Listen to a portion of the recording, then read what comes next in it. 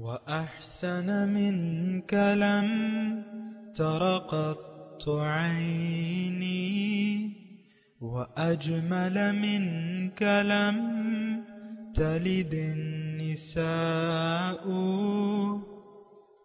خلقت مبرأ من كل عيب.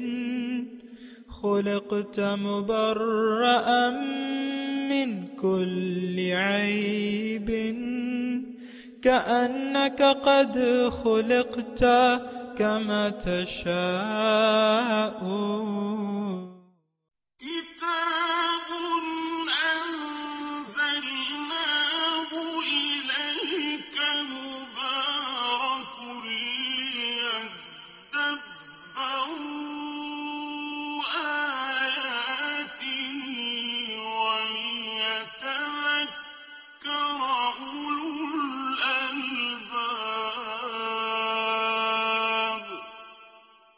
یہ کتاب برکت والی ہے، جسے ہم نے آپ کی طرف نازل فرمایا ہے، تاکہ دانش مند لوگ اس کی آیتوں میں غور و فکر کریں اور نصیحت حاصل کریں۔ اللهم صل على سيدنا محمد وعلى آل سيدنا محمد عدد كل ذرة مئة ألف ألف مرة سامعین و ناظرین اکرام السلام علیکم ورحمۃ اللہ وبرکاتہ۔ سامعین کرام، سورہ نمل، آیت نمبر ساٹھ، موضوع کیا ہم نے خواہشات نفسانی کو اپنا حقیقی معبود بنا لیا ہے؟ اس کے ساتھ سامنے کرام، آج کے سبق کا آغاز کرتے ہیں۔ سب سے پہلے گزشتہ سبق کا آموختہ ہوگا۔ ولوطا إذ قال لقومه، أتأتون الفاحشة وأنتم تبصرون؟ اور لوت علیہ السلام کو یاد کریں، جب انہوں نے اپنی قوم سے فرمایا، کیا تم بے حیائی کا ارتکاب کرتے ہو؟ حالانکہ تم دیکھتے بھی ہو۔ أئنكم لتأتون الرجال شهوة من دون النساء بل أنتم قوم تجهلون کیا تم اپنی نفسانی خواہش پوری کرنے کے لیے عورتوں کو چھوڑ کر مردوں کے پاس جاتے ہو بلکہ تم جاہل لوگ ہو؟ فما كان جواب قومه إلا أن قالوا إلا أن قالوا أخرجوا آل لوط من قريتكم إنهم أناس يتطهرون تو ان کی قوم کا جواب اس کے سوا کچھ نہ تھا کہ وہ کہنے لگے، تم لوت کے گھر والوں کو اپنی بستی سے نکال دو، یہ بڑے پاک باز بنتے ہیں۔ فأنجيناه وأهله إلا امرأته قدرناها من الغابرين۔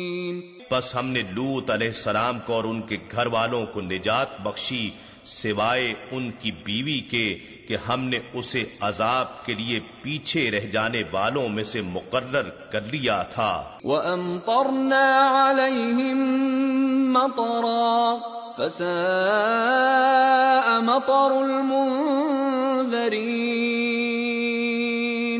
اور ہم نے ان پر خوب پتھروں کی بارش برسائی سو ان ڈرائے گئے لوگوں پر پتھروں کی بارش نہایت ہی بری تھی۔ قل الحمد لله وسلام على عباده الذين اصطفى۔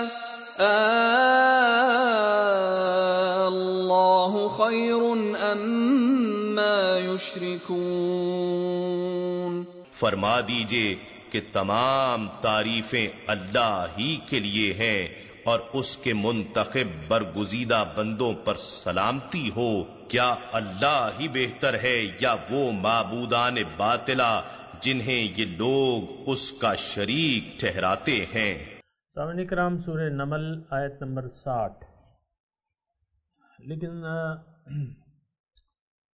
آ، ایک آیت اس پہ تھوڑی سی بات چیت رہ گئی تھی، آیت نمبر ففٹی نائن قل الحمد للہ وسلام علی عباد الذین اصطفیٰ اللہ خیر اما یشرکون آپ کہہ دیجیے کہ تمام تعریفیں اللہ کے لیے ہیں اور سلامتی ہے۔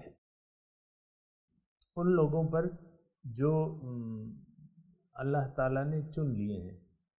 وسلام علی عباد الذی، اس کے بندوں پر جو چنے ہوئے ہیں یعنی پیغمبران سامنے کرام، محمد مصطفیٰ صلی اللہ علیہ وسلم کہتے ہیں نا، اللہ، یہ اللہ تعالیٰ کی وہ تقسیم ہے جو اس آیت میں ہے کہ اللہ یستفی الہ من یشاء و یہدی الہ من ینیب۔ یعنی وصول اللہ کے، اللہ تعالیٰ تک رسائی کے دو طریقے ہیں۔ یہ ذرا نوٹ کر لیں۔ اس آیت میں اس کا، اس کی وضاحت ہے، اللہ یستفی الہ من یشاء۔ اللہ تعالیٰ چن لیتا ہے اپنے بندوں سے جس کو چاہتا ہے۔ تو یہ چنے ہوئے بندے جو ہیں، یہ ہوتے ہیں، ہر یعنی ہر وقت ہوتے ہیں۔ چنے ہوئے لوگ جو ہیں۔ یعنی آپ دیکھیں، پیغمبروں کی ذات تو ہے ہی چنی ہوئی، اس میں کسی کے کسب کا دخل نہیں۔ ہے بعض اولیاء کے بارے میں ہم سنتے ہیں کہ مادر ذات ولی ہوتے ہیں۔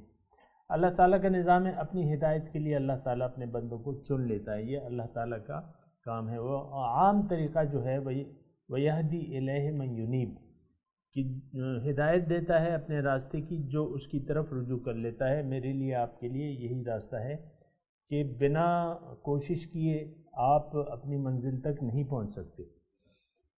یہ جو چنے ہوئے لوگ ہیں، اس میں تو یہ ہے کہ وہ بنا کوشش کے ایک درجے پر پہنچے ہوئے ہیں۔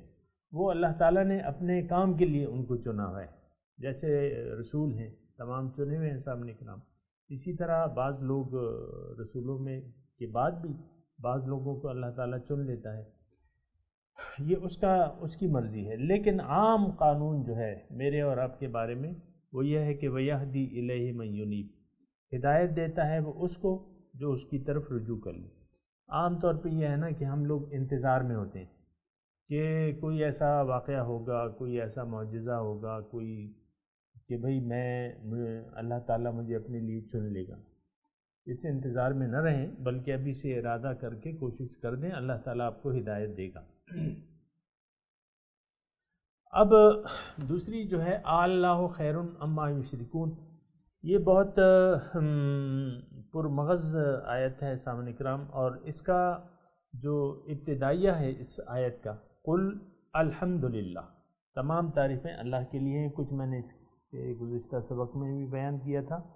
اس کا مطلب یہ ہے کہ اے لوگو، تم اپنے یعنی جس ہستی میں خوبیاں ہیں، وہ کون ہے؟ یہ ڈھونڈو۔ الحمدللہ۔ آج کے سبق میں اس کا تذکرہ ہو رہا ہے۔ کہ بھئی خوبیاں کس میں ہیں؟ امن خلق ہم امن خلق السماوات والارض. یہ میں تھوڑا ترجمہ ایک آیت کا پڑھ دوں، پھر میں تھوڑی بات کرتا ہوں. امن خلق السماوات والارض کس نے پیدا کیے ہیں؟ زمین اور آسمان. وہ انزلہ لکم من السماء مان اور کس نے تمہارے لیے پانی برسایا ہے؟ آسمان سے. وہ امبتنا بھی ہدایقہ ذات بہجا امبتنا بھی اس کے ذریعے، پانی کے ذریعے ہدایقہ باغات، ذات بہجا سرسبز، خوشنما اور سبز، سرسبز۔ ماں کانا لکم ان تم بھی تو شجرہا۔ اور یہ جو باغات میں درخت ہے تم تو اس کو نہیں اگا سکتے۔ یہ تو میں نے اگائے۔ اللہ اللہ، کیا اللہ کے سوا دوسرا کوئی معبود ہے؟ بل ہم قوم یا دلون بلکہ یہ لوگ راستے سے ہٹ رہے ہیں۔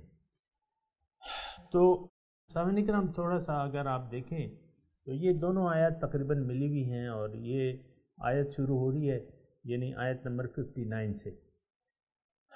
اور اس میں یعنی اٹھاون نمبر آئے تک تو گزشتہ قوموں کے حالات و واقعات بیان ہو گئے۔ اور اب یہ ہے نا کہ دیکھیں انسان یعنی ماحول کیا ہے؟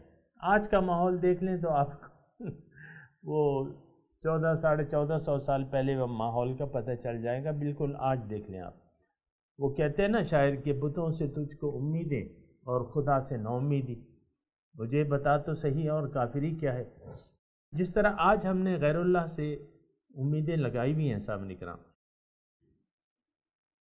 یہی معاملہ پہلے بھی تھا اور یہی چلا آ رہا ہے۔ ابھی قوم لوت کا ہم نے تذکرہ سنا ہے۔ انہوں نے بھی ذاتی خواہشات کو، ذاتی خواہشات کو اپنا معبود بنا لیا تھا۔ اور عورتوں کو چھوڑ کے مردوں سے تعلقات قائم کر رہے تھے۔ اصل میں تو خواہشات کی پیروی ہے، اور میں آپ کو یہ بتاؤں سامنے اکرام کہ جو بڑا بت ہے جس کی پوجا کی گئی ہے، جو سب سے بڑا بت ہے، وہ خواہشات نفس ہیں سامنے اکرام۔ انسان چاہتا ہے کہ اس کو آزاد چھوڑ دیا جائے۔ یہ اس اس کو پابندی، اس کے نفس کو کسی کی پابندی قبول نہیں۔ اکثر یہ آپ دیکھیں گے کہ انسان کو یعنی کسی اور کی پابندی یہ قبول نہیں کرتا۔ بہرحال، تو اب بات یہ ہے سامنے کرام کہ اگر ہم جانور ہوتے یعنی جانوروں کی طرح ہوتے جن میں کوئی عقل سوجھ بوجھ نہیں ہے۔ تو پھر تو ایک بات تھی۔ اگر ہم ایسا کرتا رہ، کرتے رہتے کہ حلال اور حرام کی تمیز نہ کرتے جیسے کہ ایک گائے ہے، اس کو اپنے کھیت کا اور پرائے کھیت کا پتہ تھوڑی ہوتا ہے۔ اس کو اگر آپ کسی بھی زبان میں سمجھا دیں، وہ سمجھے گی تھوڑی۔ یا تو یہ بات ہے نا کہ جانور جو ہیں، وہ عقل نہیں رکھتے۔ اگر ہم بھی اپنے آپ کو جانور بنا لیں یعنی ایسے کہ جس میں عقل نہیں ہے، تو اگر عقل نہ ہوتی اور ایسا کرتے، لیکن عقل ہونے کے باوجود عقل و فہم، ارادہ اور قوت ہونے کے باوجود اگر ہم جانوروں کی روش اگر ہم نے اپنا لی ہے، جیسے کہ قرآن نے کہا ہے کہ اولائے کا کل انعام، ان کی مثال جانوروں کی سی ہے، بل ہم عدل۔ بلکہ یہ ان سے بھی گئے گزرے ہیں۔ جانور تو اپنا عقل نہ ہونے کے باوجود اپنی فطرت پہ مجبور ہیں اور اپنا مقصد تخلیق پورا کر رہے ہیں سامنے کرام۔ گائے ہے تو اپنا کام کرتی ہے وہ، دودھ دیتی رہتی ہے۔ پھر جب وہ، آپ جب چاہیں اس کو ذبح کر کے اس کا کڑھائی گوشت بنا سکتے ہیں۔ پلاؤ بنا سکتے ہیں، دیگیں چڑھا سکتے ہیں۔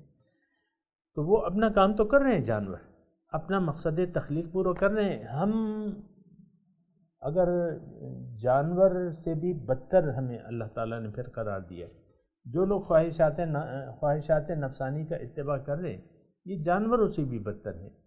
لیکن پھر بھی اللہ تعالیٰ چونکہ ہم پہ بہت زیادہ غفور الرحیم ہے، وہ ہمیں سمجھاتا ہے۔ اس نے ہمارے ہدایت کے لیے رسول بھجوائے ہیں اس نے ہماری ہدایت کے لیے کتاب بھجوائی ہے اور اس میں اللہ تعالیٰ ہم سے مخاطب ہوئے ہیں سامنے کرام۔ یہ بہت بڑا اعزاز ہے سامنے کرام۔ یا ایوہ الناس، اے لوگ یا ایوہ الناس عبدو ربکم الذی خلقکم والذین من قبلکم۔ سورہ بقرہ میں جو پہلا حکم آیا ہے کہ وہ اس سے شروع ہوا ہے، بندگی رب۔ بندی کے رب کی دعوت اللہ تعالیٰ یا ایوہ الناس اعبدوا ربکم الذی خلقکم والذین من قبلکم۔ اب یہ اللہ تعالیٰ کی خصوصی رحمت ہے، شفقت ہے۔ دیکھیں، اگر ہدایت خیر، ہدایت کا ہونا تو ضروری ہے۔ یعنی ہدایت ہدایت کیا مطلب؟ وہ کہ آپ کو راستہ بتایا جائے اور منزل تک پہنچایا پہنچایا جائے یہ ہدایت کا مطلب ہوتا ہے۔ تو اللہ تعالیٰ نے یہ ہدایت تو ضروری تھی۔ اس کی وجہ یہ ہے کہ ہم، میں اور آپ جو ہیں، جو بھی انسان ہیں، ان کی عقل جو ہے محدود ہے۔ دوسرا، ان کی عقل کی پرواز جو ہے وہ محسوسات تک ہے۔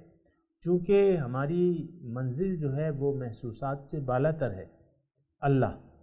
تو پھر اس کے لیے ہدایت کی ضرورت ہے۔ ہدایت کی ضرورت سے تو ہم انکار نہیں کر سکتے۔ یہ ایک بات نوٹ کر لیں صاحب نکرام لیکن پھر بھی جو لوگ غافل ہیں، اللہ تعالیٰ نے قرآن کو قرآن میں ان کو مختلف طریقے سے اپنی بندگی کی طرف رجوع کیا ہے کہ بھئی مجھے، میں ہی معبود واحد ہوں۔ ہے ہی۔ بات یہ ہے کہ اللہ تعالیٰ تو واحد حقیقی وجود والی ذات ہے۔ باقی تو اس کی مخلوقات ہیں، جو کچھ بھی ہے۔ ان کل من فی السماوات والارض الا آت الرحمن عبدا۔ زمین و آسمان میں جو کچھ بھی ہیں وہ تو اس کی مخلوقات ہیں۔ تو ایک ہی ذات ہے سامنے کرام۔ طاقتور، آپ دیکھ لینا ذہن سے۔ اب اس میں یہ ہے نا کہ تھوڑے ہمیں ذہن کھولنا ہوگا۔ ان آیات کی تلاوت یا اس کو سمجھنے کے لیے ہمیں اپنا ذہن کھولنا پڑے گا۔ لیکن اس سے پہلے میں آپ کو یہ بتاؤں کہ معبود جو جس کی پرستی شروع ہوئی ہے نا، وہ ہمارا نفس ہے سب سے پہلے۔ یعنی آپ دیکھیں نا، آدم حضرت آدم کے جو دو بیٹے تھے، جن کا واقعہ بیان ہوا ہے قرآن میں کہ جو بھی نام تھے، ابھی نام مجھے یاد نہیں آ رہے۔ ایک نے کہا کہ بھئی دونوں نے قربانی کی، قرآن کا مضمون جو ہے۔ تو ایک کی قربانی قبول ہو گئی، دوسرے کی نہیں ہوئی۔ اب چاہیے تو یہ تھا کہ وہ دوسرا جو تھا، جس نے قتل کر دیا۔ تو اس کو اس کو سوچنا چاہیے تھا کہ بھئی میری کیا غلطی ہے؟ کیوں میری قربانی قبول نہیں ہوئی؟ اس کے بجائے اس نے نفسانی جو اس کا حسد ہے، جو وہ جذبہ جو ہے، اس نے اس کو بروئے کار لایا۔ لَأَقْتُلَنَّكَ میں تمہیں قتل کروں گا۔ یعنی اب دیکھیں، ضد، ہٹ درمی اور انا پرستی خود پسندی انا پرستی یہ صفات وہ ظاہر ہو گئیں اس کی۔ تو بجائے اس کے کہ وہ رجوع کرتا اللہ تعالیٰ کے سامنے، تو اس نے نفسانی خواہشات کا اتباع کیا اور بھائی کو اپنے قتل کر دیا۔ تو وہاں سے یہ سلسلہ سامنے اکرام شروع ہوا ہے۔ دیکھیں انسان کی تخلیق جو ہے، میں آپ کو یہ بتاؤں کہ یہ ایک ہی قسم کا ہے۔ یعنی اس کی فطرت بھی ایک ہی ایک ہی سی ہے۔ جو اس کی خرابیاں ہیں، وہ اس میں موجود ہیں۔ اور میں اگر آپ کو تھوڑی سی مثال بتاؤں کہ انسان کا جو بیج ہے، جو نفسانی بیج ہے نا، یہ سب میں ایک طرح کا ہوتا ہے۔ مثال کے طور پہ گندم کا کوئی بھی دانہ آپ لے لیں۔ اس سے جب دانہ، گندم کے ہزار دانوں کو آپ مٹی میں ڈال دیں اور اس کی آبیاری کریں، تو آپ مجھے بتائیں کہ کس یعنی کیا امکان کوئی ایسا ہے کہ کسی کوئی پودا جو ہے اس میں مسور کی دال ہو، یا چاول کا دانہ ہو، یا جو کا دانہ ہو، یا مکئی کا پودا نکل آئے، ان ہزار ہا دانوں میں سے، نہیں، سارے دانوں سے گیہوں اگے اگے گی۔ تو اسی طرح میری اور آپ کی جو فطرت ہے، یہ نا، یہ چلی آ رہی ہے۔ یہ چلی آ رہی ہے۔ اور ہمارا جو مسئلہ ہے، وہ ایک ہی ہے تقریباً، کہ وہ خواہشات نفس کا اتباع ہے۔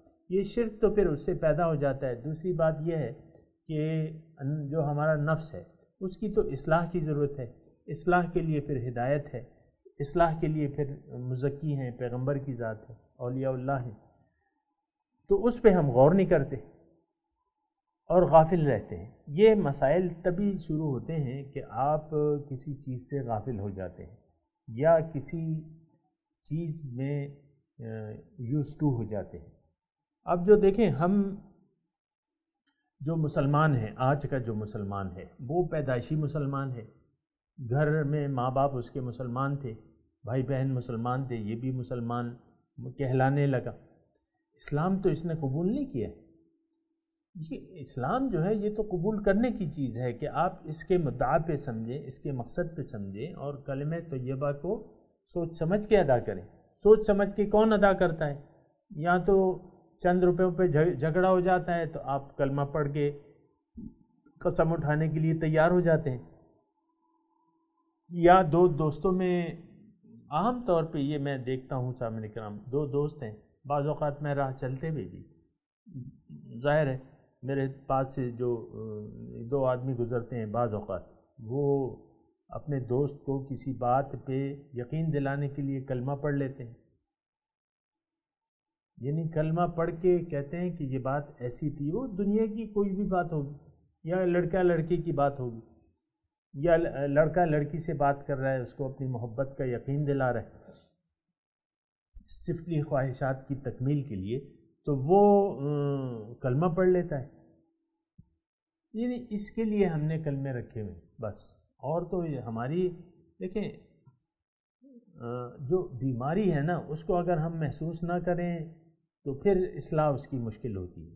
بیماری کا علاج تبھی ممکن ہے کہ ہم، ہمیں احساس ہو جائے کہ ہاں یہ بیماری ہے۔ میں آپ سے یہ کہہ رہا ہوں کہ ہم نے جس معاشرے میں میں اور آپ رہ رہے ہیں، اس معاشرے نے نہ تو اسلام کی دعوت کو سمجھا ہے۔ ایک بات بالکل واضح جو میں کہہ رہا ہوں، اسلام کی دعوت کو نہیں سمجھا اس نے۔ قرآن کے مقصد کو اس نے نہیں سمجھا۔ حضور صلی اللہ علیہ وسلم کی دعوت کو اس نے نہیں سمجھا۔ میں اس پہ کلمہ شریف تو نہیں پڑھ رہا، لیکن میں آپ کو کہہ رہا ہوں، آپ خود دیکھ لیں۔ یعنی جس انداز سے میں آپ کے سامنے وضاحت کر رہا ہوں، یا کلمے کی وضاحت کرتا ہوں، یا ہمارے اپنے مقصد کی وضاحت کرتا ہوں، یا جو کچھ بھی کہہ رہا ہوں، تو ہم نے تو سوچ سمجھ سے تو کام نہیں لیے بہت دور کی گمراہی میں پڑے ہوئے ہیں۔ میں یہ نہیں کہہ رہا کہ ہماری واپسی مشکل ہے۔ مایوسی کی ضرورت نہیں ہے، اصلاح کی گنجائش موجود ہے۔ آپ ابھی بیدار ہو جائیں کہ بھئی نہیں، میں تو غفلت میں نہیں زندگی گزارنا چاہتی یا چاہتا۔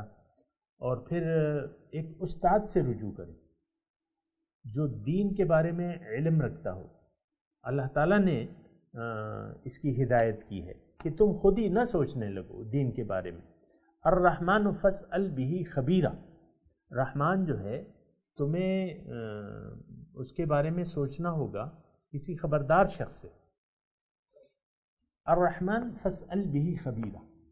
کسی خبردار شخص سے تمہیں اس کے بارے میں سوچنا ہوگا پوچھنا ہوگا۔ اور پھر دوسری جو وضاحت ہے کہ فص اہل ذکر ان کن تم لا تعلم ذکر والوں سے پوچھو، اگر تمہیں پتہ پتہ نہ ہو، اگر تمہیں معلومات نہیں ہیں تو اہل ذکر سے پوچھو۔ تو اپنے، ہم نے تو اپنے ذہن سے اندازے لگائے ہوئے دین کے بارے میں۔ چاہے کہ وہ ایک پی ایچ ڈی کا ڈاکٹر ہے یا M B A B S کا ڈاکٹر ہے آپ میں تو مطالعہ کرتا رہتا ہوں۔ ہر ایک کے، ہر ایک نے اپنے ذہن کے حساب سے کچھ رشتے، ناطے جوڑے میں اپنے ساتھ اسلام کی۔ تو یہ ایک ایسی صورتحال ہے کہ اس کا، اس کی اصلاح ہونی چاہیے۔ دیکھیں، اصل جو روشنی ہے وہ تو قرآن کی روشنی ہے۔ یہ بات تو طے ہے نا سامنے کرام۔ علم، اصل علم جو ہے وہ قرآن کا ہے۔ پھر حضور صلی اللہ علیہ وسلم نے ہمیں جو علم دیا ہے، وہ اصل علم ہے۔ تو، اور پھر آپ نے قرآن کو صاحب قرآن سے سیکھنا ہے۔ یہ ایک بات جو ہے، نوٹ کر لیں۔ دیکھیں، قرآن پہلے صاحب قرآن آئے۔ ہمارے حضور صلی اللہ علیہ وسلم۔ پہلے صاحب قرآن آئے ہیں، قرآن تو پھر تیئیس سال میں آیا ہے۔ مسلمان تو یعنی مکے میں بھی مسلمان تھے، وہ ان پہ ایمان لا کے ہدایت پا گئے۔ قرآن بھی نزول ہو رہا تھا، لیکن صاحب قرآن پہ ایمان لا کے یقین کر کے ان کی بات کو مان کے وہ صاحب یقین ہو گئے۔ ایمان والے نہیں تھے، کیوں نہیں تھے؟ مکے میں تھے۔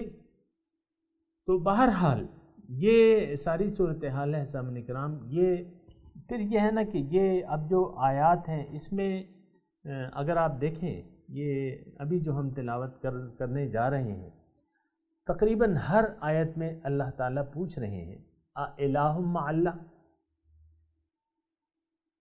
یہ جو ابھی ہم نے آیت نمبر ساٹھ پڑھی ہے اس میں اللہ تعالیٰ پوچھ رہے ہیں کہ بھئی کوئی دوسرا معبود ہے؟ اللہ کے ساتھ کوئی دوسرا معبود ہے؟ کوئی دوسری ایسی ہستی ہے جس نے یہ کام کیے ہوں؟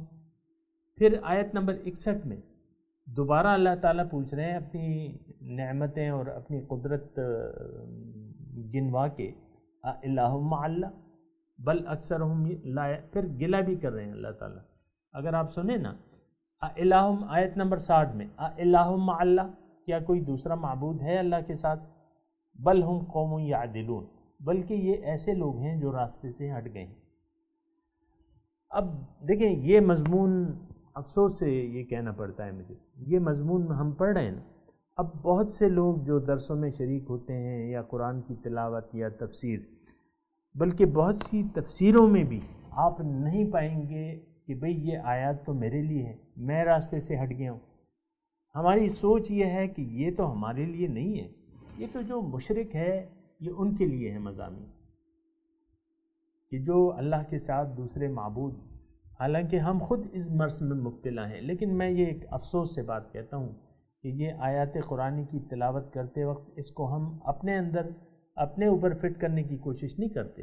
دیکھیں، قرآن کی ایک آیت ہے، یا تو ہم اس کے مستاق ہوں گے، یا اس کے خلاف ہوں گے۔ یعنی یا تو ہمارا اس کے مطابق عمل ہوگا یا اس کے خلاف عمل ہوگا یہی دو راستے، یا آدمی نیک ہوگا یا بد ہوگا، یا مشرق ہوگا یا نہیں ہوگا، یا ایمان والا ہوگا یا نہیں ہوگا، یا منافق ہوگا یا مومن ہوگا، یا کافر ہوگا یا ماننے والا ہوگا۔ تو اب یہ ہے نا کہ میں نے آپ کو بتاتا رہتا ہوں کہ اصل جو چیز ہے نا وہ ربش کی ہے۔ ہماری ایک غلط فہمی یہ بھی ہے بہت بڑی کہ ہم زبان سے کلمہ ادا کر کے اپنے آپ کو مسلمان سمجھنے لگتے ہیں اور پھر یہ تمام مضامین جو آتے ہیں، اس کو اپنے لیے نہیں سمجھتے۔ یہ تو بھائی مشرقوں کے ہیں۔ میں نے تو کلمہ سانے تو کلمہ پڑھی ہے یہ ایک بہت افسوسناک بات ہے۔ ایسا نہیں ہونا چاہیے۔ قرآن میرے لیے ہے۔ سب سے پہلے میرے لیے۔ میرے لیے روشنی ہے۔ اس کی روشنی میں میں نے اپنے اعمال کا، اپنے نظریات کا پتہ چلانا ہے۔ اس کی روشنی میں۔ اب یہ میں آپ کو یہ یقیناً کہہ رہا ہوں کہ یہ ہمارے لیے ہیں۔ اب میں دیکھ رہا ہوں نا کہ میں آپ کو بتاتا ہوں ابھی۔ آیت نمبر ساٹھ میں اللہ اللہ، کیا دوسرا اللہ تعالیٰ پوچھ رہے ہیں کہ کیا دوسرا معبود ہے؟ نہیں ہے۔ بل ہم قوم یادل بل مطلب نہیں، دوسرا معبود تو نہیں ہے، لیکن یہ لوگ راستے سے ہٹ گئے۔ اب یہ دیکھیں، ہم لوگ اگر راستے سے نہیں ہٹے یا تو ہم راستے پہ ہیں یا راستے پہ نہیں ہیں۔ اب آپ یہ دعویٰ نہیں کر سکتے کہ ہم لوگ راستے پہ ہیں، ہم لوگ راہ راست پہ ہیں، پاکستانی قوم راہ راست پہ ہے، باہر ملکوں کو چھوڑ دیں۔ ان کی تو حالت زیادہ خراب ہے۔ لیکن ہم یہ دعویٰ نہیں کر سکتے کہ ہم راستے سے ہٹے ہوئے نہیں ہیں، ہم راستے پر ہیں۔ کون سا راستہ ہے بھائی تمہارا؟ کیا عقیدہ ہے؟ کوئی نہ کوئی عقیدہ ہے، نہ کوئی راستہ ہے، نہ کوئی عمل ہے۔ بھارت آگے چلیں۔ آیت نمبر اکسٹھ میں الہ اللہ کیا ہے اللہ کے سوا کوئی دوسرا معبود؟ بل اکثر ہم لا علوم نہیں ہے، دوسرا معبود نہیں ہے، لیکن اکثر لوگ تو جانتے ہی نہیں ہیں۔ تو ہمیں بھی نہیں معبود، نہیں معلوم اپنے حقیقی معبود کو، کہ ہمارا حقیقی معبود کون ہے۔ ام من یجیب المستر اذا دعاہو۔ اچھا آیت نمبر بہاسٹھ میں دیکھیں۔ الہ اللہ کیا اللہ کے سوا کوئی دوسرا معبود ہے؟ قلیل اما تذکرو بہت کم تم لوگ نصیحت حاصل کرتے ہو۔ اچھا پھر آیت نمبر تریسٹھ میں الہ اللہ، کیا اللہ کے سوا کوئی دوسرا معبود ہے؟ تعالی اللہ عما یشرکو اللہ تعالیٰ بہت بلند ہے، جو اس کے ساتھ شریک کیے جاتے ہیں۔ ہم بھی عملاً شرک میں مبتلا ہیں، میں آپ کو بتا دیا۔ خواہشات نفس ہیں ہماری، معبود۔ پھر آیت نمبر چونسٹھ میں، الہ اللہ، بھئی کوئی دوسرا معبود ہے اللہ کے ساتھ؟ نہیں ہے۔ اگر ہے ہاتھو برہانکم ان کو تم ساد اللہ تعالیٰ مجھ سے کہہ رہا ہے کہ بھئی تم جو یہ خواہشات نفس کا اتباع کر رہے ہو، کوئی دلیل لے آؤ اس کی؟ ہاتھ اپنی دلیل لے آؤ۔ تم تو نفس کی اطاعت کر رہے ہو، تم تو شیطان کے راستے پر چل رہے ہو۔ تم نے تو خواہشات نفس کو اپنا معبود بنا لیا ہے۔ آیت نمبر چونسٹھ۔ تو اب یہ دیکھیں، چونسٹھ نمبر مطلب یہ ہے کہ چار مرتبہ ایک زیر زبر کی زیر زبر کی تبدیلی کے بغیر ایک سوال ہے۔ اللہ۔ کہ اللہ کے سوائے کوئی دوسرا معبود ہے؟ تو بہرحال یہ باتیں سوچنے کی ہیں سامنے کرام۔ اور میں گزارش یہ کروں گا اپنے سننے والوں سے، خواہ وہ خواتین ہیں، حضرات ہیں، کہ قرآن ایک روشنی ہے، اس روشنی میں اپنے کردار کا جائزہ لیں۔ کہ آپ نے، میں نے تو کہیں دوسرا، میں بھی سوچوں گا کہ میں نے کسی دوسرے کو تو معبود نہیں بنا لیا۔ خواہشات نفسانی کے بل بوتے پہ تو میں زندگی نہیں گزارا عام طور پہ دیکھیں سامنے کرام، میں آپ کو بتاتا رہتا ہوں جو اکائی ہے خاندان کی، میاں ہے، بیوی ہے، یہ دونوں اپنی مرضی سے ایک دوسرے کے ساتھ سلوک کرتے ہیں۔ بلکہ سامنے کرام، اللہ کی بندگی کا تو یہاں کوئی خاص تصور نہیں ہے۔ نفس نفس کی بندگی ہے۔ نفسانی خواہشات کا اتباع ہے۔ تمام مطلب آپ دیکھ لیں۔ میں تو میاں میاں، بیوی سے یعنی خاندان کی اکائی سے شروع کرتا ہوں۔ میں پھر جاتا ہوں آپ کے جو وزیر اعظم صاحب ہیں، جو بھی ہیں، اور یہ بڑے بڑے جو لوگ ہیں، یہ میڈیا ہے، یہ اجتماعی اکثریت یہ۔ بل اکثر ہم لا عالم بلکہ اکثر لوگ حقیقت کو جانتے تک نہیں۔ اور یہ آیت نمبر اکسٹھ میں ہم پڑھ رہے بل اکثر ہم لا عالم اللہ، بل اکثر ہم لا عالم اکثر کو تو علم ہی نہیں اور حقیقت سچی بات یہ ہے سامنے کرام کہ ہمیں حقیقت کا علم نہیں ہے۔ ہم اپنے، ہم نے اپنے آپ کو نہیں پہچانا، ہم بے خبر ہیں اس سے دیکھیں، روح کا تو کسی کو احساس ہی نہیں کہ میری اصل تو یہ ظاہر نہیں ہے باتیں نہیں آپ دیکھیں، ظاہری رنگ و روپ کے بارے میں ہم فکر مند ہوتے ہیں۔ خواتین جو جو ہیں جو ظاہر ہے کہ عمر تو ڈلتی ہے، ڈلتی عمر کے ساتھ جو عمر کے تقاضے ہیں، جھریاں ہیں، یہ، وہ، اس کے بارے میں قیمتی قیمتی کریمیں لے لیتی ہیں کہ بھئی ہم ایسا نہ ہو کہ ہم بوڑھی نظر آئے تو یہ یعنی ظاہر کے بارے میں انسان پریشان رہتا ہے، ظاہر۔ وہ اکثر گلا کرتے ہیں نا، نہ کوئی ڈھنگ کا کھانا ہے، نہ رہنا ہے، نہ پہننا ہے ڈھنگ کا۔ اور یہ کیا زندگی ہے؟ اور پھر بعض لوگ لانت بھی بھیجتے ہیں لانت ہو ایسی زندگی میں۔ بہرحال میں اس کو، اس کا تذکرہ نہیں کرتا۔ لیکن میں صرف یہ بات کہہ رہا ہوں، بل اکثر ہم لایا لوں سامنے کرام، مضمون جاری ہے اور ابتدا کرتے ہیں اور ایک آیت تبرک کے طور پہ پڑھ لیتے ہیں۔ اعوذ باللہ من الشیطان الرجیم۔ بسم اللہ الرحمن الرحیم۔ امن خلق السماوات والارض وانزل لكم من السماء ماء وانبتنا به حدائق ذات بهجه ما كان لكم ان تنبتوا شجرها أإله مع الله بل هم قوم يعدلون سامنے کرام اب عنایت کی تلاوت اور ترجمہ أَمَّنْ خَلَقَ السَّمَاوَاتِ وَالْأَرْضَ وَأَنزَلَ لَكُم مِّنَ السَّمَاءِ مَاءً فَأَنبَتْنَا بِهِ فَأَنبَتْنَا بِهِ حَدَائِقَ ذَاتَ بَهْجَةٍ مَا كَانَ لَكُمْ أَن تُنبِتُوا شَجَرَهَا أَإِلَٰهٌ مَّعَ اللَّهِ بَلْ هُمْ قَوْمٌ يَعْدِلُونَ